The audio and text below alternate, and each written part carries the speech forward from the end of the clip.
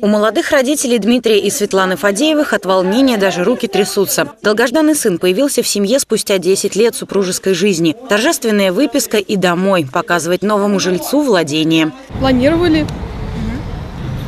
Захотели вот такое маленькое чудо. Да, давно вместе, 10 лет вместе. И это вот, наконец-то. В 10-й городской больнице Куйбышевского района Самары каждый год рождается больше двух тысяч детей. Особенно жаркая пора приходится на лето. Роддом тщательно помыли, сделали косметический ремонт. И женщинам, и их детям здесь комфортно. Они получают всю необходимую медицинскую помощь. Мы укомплектованы согласно всем медицинским приказам Министерства здравоохранения.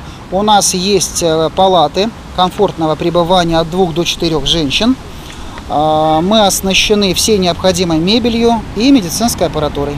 Родильное отделение при 10-й городской больнице обслуживает весь Куйбышевский район, часть железнодорожного и Самарского. Представители Министерства социально-демографической политики регулярно посещают роддом, проверяют, нет ли недостатка в оснащении медучреждения.